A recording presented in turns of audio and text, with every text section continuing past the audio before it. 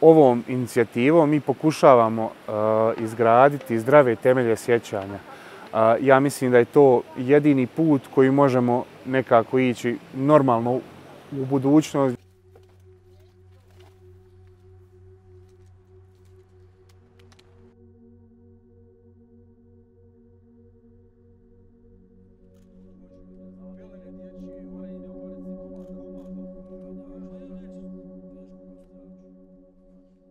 Trebalo bi obilježiti sva mjesta. I, i sve bi trebala u, udruženja na, na, na sve tri strane da zajednički djeluju, jer, jer smo mi na kraju onaj, os, oslunjeni jedni na druge. Istina je samo jedna, i zato je veoma bitno da se obilježi, jer kažem, mjesto obilježavanja ujedno je dokument. Nekad će vjerovatno doći generacije koje će hladnim glavama o tome pričati, razmišljati, vidit će da je to to, da istina nema. Istina tri, četiri lica, nema istina, u nas ima istinu svak svoj. I veoma, veoma bitno da ovakva mjesta budu mjesta odavanja počasti tim svim žrtvama.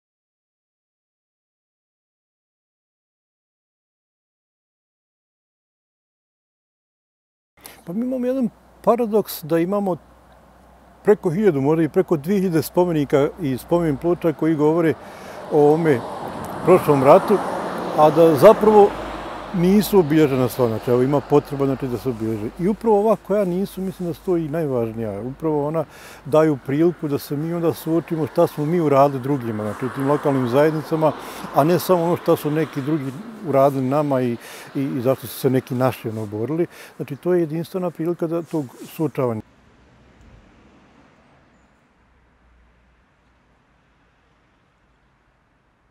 2015. godine smo u sklopu naše prve akcije obilježavanja neobilježenih mjesta stradanja obilježili i stadion Iskre.